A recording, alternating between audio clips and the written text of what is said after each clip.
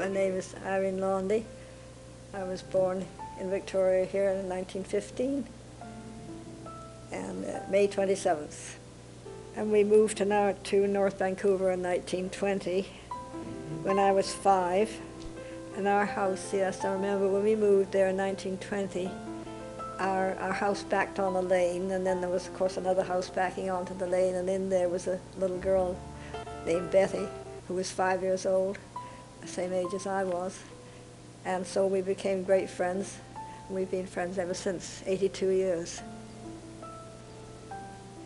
And then there was another uh, girl family that came in a couple of houses up, and just rented it for a couple of years.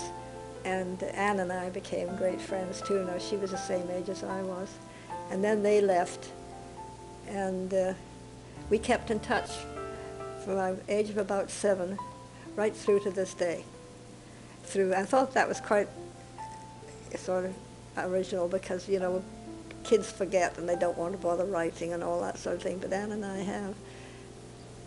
I had all my education on the North Shore, and um, I did a lot of babysitting, a lot, along with a lot of my other school pals, you know, at that age. And uh, yes, we paid. Uh, we had 25 cents. If you, I could, you could go five o'clock and put kids to bed and feed them dinner and all that sort of stuff. And if people came home before midnight, you got 25 cents. And if they were after midnight, then had, they paid 50 cents. But they were scrambling in the door one minute to 12, I can tell you. I didn't make many, many 50 cent pieces. But no, it's very, very different today when I think they get $5 an hour or something like that. Lord, you pay almost more to pay your babysitter than you do whatever you're going to do out. But it was just pure depression days when you're, you know, you just, your whole life was existing, really. So, you know, we didn't have the things like they have now. There was no such thing as going for this fad and that fad and the other fad for clothes because you were just lucky if you had three pieces to put on. It was a much quieter life and people didn't expect it, you know, because we hadn't reached that crazy stage in life, I don't think, that we are now. I mean, there's, you know, things are so far out. So it, it makes a difference, a different era altogether. I came over here to work in a, uh, a hotel out in Sooke, and uh, when I was going home, I stayed over a weekend with the sister of my sister-in-law, and um, in Victoria, and uh, there was a, a, den- a tennis picnic on that night, and uh, so I went with Francis, and I met my husband that night.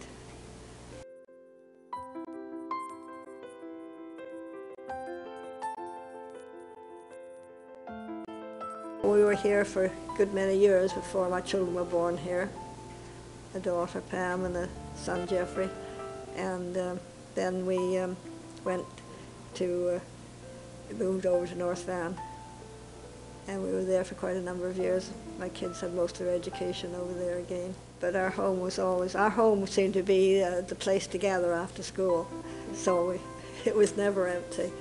And uh, there was always a baseball match going on or a hockey match in the basement or something, you know, terrific racket. But anyway, it was nice. That's the way we liked it. 1964, Jeffrey took off. Pam was married one day, and Jeffrey left the next. So then our nest was empty. And then we came back to uh, to Victoria in 1970, uh, 1972. When my husband retired, we came back to Victoria.